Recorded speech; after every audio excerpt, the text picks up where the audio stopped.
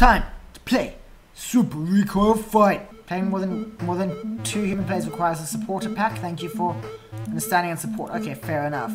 Let's play just me against AI. Okay, so the controls are control. And I have to try and shoot this guy, this other guy. What in the fuck? I got wrecked. This sounds strange because it is fucking strange.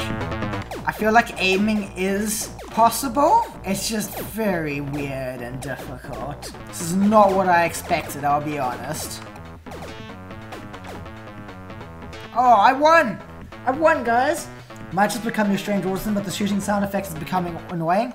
No, it is quite annoying. I can't even mute it though. It can't be muted. I will turn the sound off for you guys. I'm just gonna have to live with it. It's either annoying or boring, basically. It's it's a fun game, but the sound is killer. Playing by yourself, it's boring. Yeah, this would be a good party game. It would be a great party game. Unfortunately, you have to pay to be able to play with other computer players. I'm actually going to give it a bad review because of the misleading marketing of calling it free to play, which it is not. The main part of the game and the only reason you would pay is behind a paywall. Yeah, exactly. Like, I won't lie, it's fun, but it would be so much more fun with friends. Does it say that on the store page? I don't think so. One button projectile brawler shooter that recalls the fun of a coin-op arcade for up to four players on a single keyboard.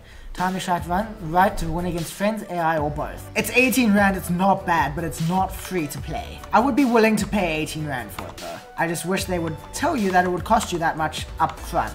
But the DLC is called Supporters Pack, so it doesn't sound like it's really necessary. It's a bit deceptive, I think. You made a game similar to this at school? Yeah, I can't imagine it was very difficult to make. I feel like this was made by student in a few days. Yeah, probably. I would not doubt that. Then I have to edit this so hard to make it interesting on YouTube? Yeah, fucking hell. I'll have to put some uh, royalty-free music in the background and shit like that, because the game audio itself is god-awful. I am bored.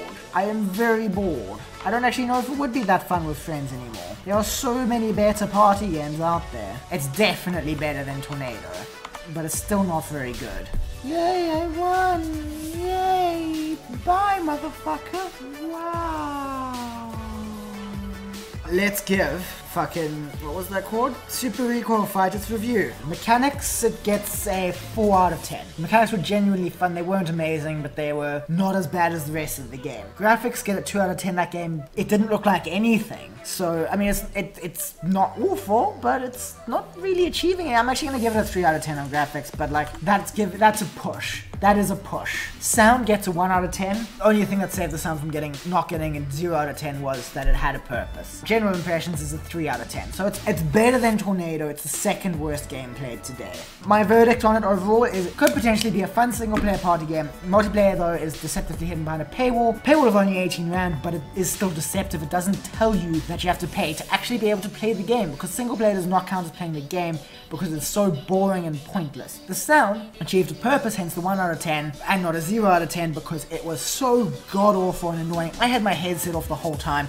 I had it muted for you guys because wow, that was terrible. That was really, really bad that was Super Recoil Fight. I hope you guys enjoyed it. I'm sorry that the video was so short. Regarding my review of the game, I will say that the audio did grow on me while I was editing, but I still wouldn't raise it much above a 1 out of 10. Maybe once I got used to it, it could raise itself up to a 2 out of 10 at quite, quite a push, but I will still give the game a genuinely negative review because of the DLC thing. It might be 18 Rand, and 18 Rand's very little in dollars, that's about a dollar. It's nothing consequential, it's nothing I'll really care about paying for a game, but the fact that the game markets itself as free to play, when in reality there is no free to play game. The game I played in this video was not a game, it was not content, it was an excuse to buy a DLC, an excuse to sell a DLC, and I will admit that as a party game, it would have been fun. I admitted that a few times in the video, and I would like to play it with friends sometime. It would be fun to try it out, but there are better party games out there. Super Smash Bros. is the first example to come to mind, although that is quite a lot more expensive than 18 Rand, but it doesn't do anything. When it comes out of early access, hope they fix the audio, maybe make it free to play or make it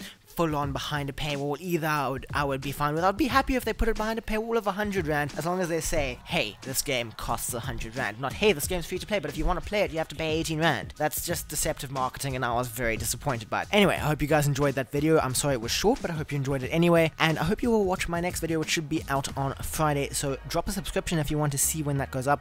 Ding that bell if you want to be notified even further. Or join my Discord server. I have a notification system there as well. Join the Discord anyway. It's good banter in there. Follow me on Twitter Twitter, and I will see you guys in my next stream if you watch it, or just watch the next video. I'll see you guys in the next video. Thank you very much for watching, and I appreciate you. Goodbye.